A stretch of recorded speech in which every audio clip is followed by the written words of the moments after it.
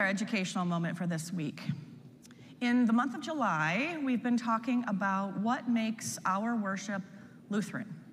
So, two weeks ago, I talked about how Lutheran worship is focused on a triune God. Last week, I talked about how worship, Lutheran worship, focuses on what God does for us through the Word and the sacraments. And this week, I want to focus on how Lutheran worship focuses on the importance of the assembly, interestingly enough, coming together. How there are opportunities throughout worship for everybody to contribute, whether you're up here at the pulpit or not. So, the, the, the Greek word for church is ecclesia, which actually means assembly. So it's focused on the ecclesia, the coming together, the assembly.